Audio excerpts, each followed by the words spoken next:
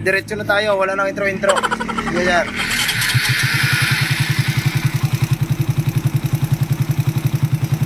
Si boss ay galing, saan ka pa galing boss? Carmona boss? Kagawa lang niyan ano, Oo, gayon pa rin. meron pa rin. Yan mga boss, check na lang natin kung anong problema niyan, ba't eh malagitik pa rin. Yung mga boss, arin ang motor ni sir na taga, taga ka boss? Carmona. Carmona, kagawa lang na. Ayan si Bossing, bago na tayo magkumpisa. Kung bakit maingay kay sir, shoutout muna natin si Boss, galing Kalamba pa. Ayan, patuno lang ng carb.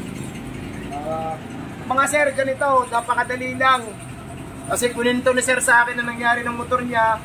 Ah, pinalitan ng tensioner na baluktot. Madalit sabi, tumalo ng chain. Naliko ang valve, pinalitan ng valve. Doon pala mga boss, kakalasin, nung kakalasin pa lang, sabi ko kay sir, baka local ang valve. Kaya maingay. Mga boss, ito yung nakita natin. Hindi nga tayo nagkakamali. Ayan ang valve niya. Local. Paano malalaman ng local? Kasi ayan, walang code number. Tsaka ang mga bagong valve ngayon, lahat may code number. Tapos manipis lang, ito makapal.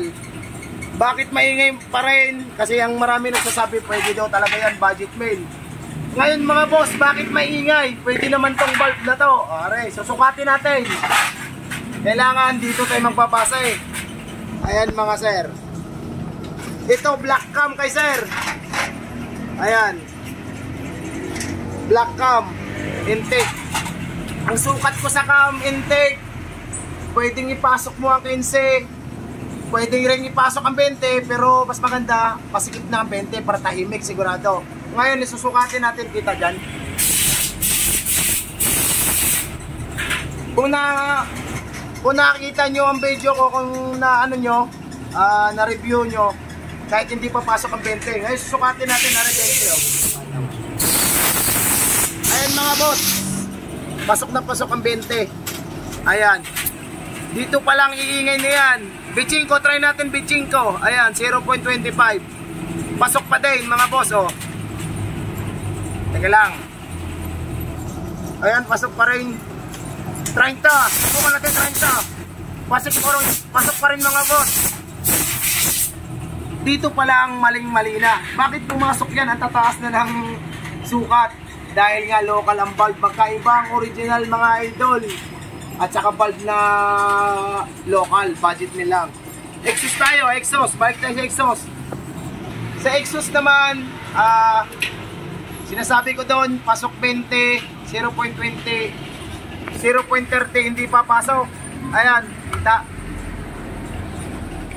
0.30 hindi papasok ka. Diretso na agad tayo sa 0.30. Dapat hindi papasok. Ayan. Pasok, luwag na luwag. Kukuha tayo ng 40. Mga boss. Ayan.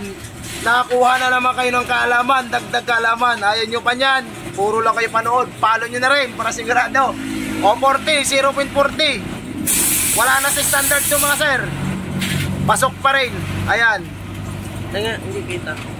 Pakita mo yung 40. Ayan, 0.40 yan mga sir. Wala, wala na to sa standard. Wala na to. Kahit sa manual, tingnan nyo, wala na.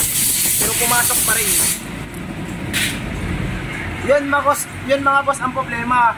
Ang alam kasi ng iba na pwede ikapit ang ah, pwedeng kalpak ang local pwedeng gamitin. Yun nga pwede kaso maingay. Yun ang nilapit niyo po sa atin ay si boss. Ayan. Ngayon boss, bibili ulit tayo ng bulb panibagong shims na naman. Itong cams, buti hindi pa nasira ang cams, goods pa naman. Ah, babalik muna natin ang cams to. Yung black cam ni sir, pinapaliwanag ko naman kay sir kasi goods pa naman.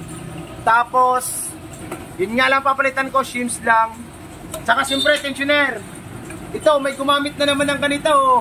DIY na naman. Ah, pang smash, dinugsungan lang. Pwede naman, eh, wala tayong magagawa, ganun talaga. Pero para sa akin, ba't tayo bibili pa ng ganito? Eh, local naman. Doon na tayo sa maganda. Yun na, natin.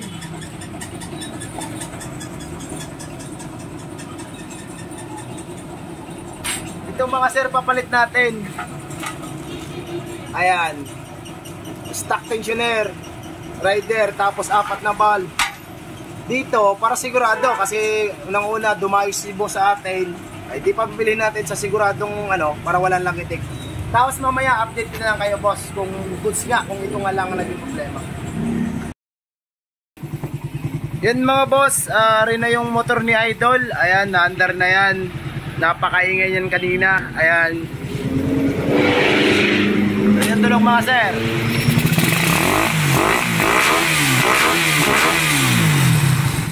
Black cam yan mga boss, black cam. Boss, anong sabi mo kanina? Hindi sayang ang Hindi sayang punta. ilang ano yan, ilang linggo nga na pa-stock simula nung ginawa. Ano na? Ilang linggo na pa-stock dahil natatakot ka sa tunog, no? Dalawa? Dalawang linggo. Dalawa. Ayos na re. Ayos na. Ayos na yan, sigurado ka. Na. Ayan. Si boss, taga saan nga boss? Samo na. Carmona, ayan. Yes, si Bossing, shoutout natin boss. Taga saan kayo boss?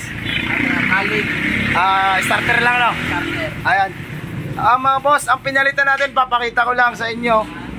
Ayan, papakita ko sa inyo para Oh, kahit pa paano makakuha kayo ng idea o makatulong sa inyo. Baka makatulong are. Yan mga boss, ari si Idol, ah, tuwan-tuwa. Ah, na, napakadali lang mga sir, gawin talaga ang rider kung talagang iisipin mo ng ayos babalansahin mo lang kung bakit ganun. Maingay pa rin kung nagpalit ka lahat.